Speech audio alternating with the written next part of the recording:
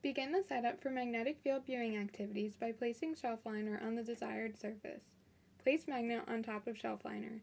Place the magnetic field viewing box on top of the magnet in the shelf liner.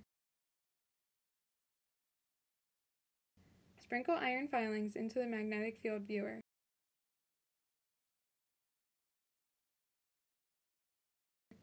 Tap the viewer to help settle iron filings along field lines.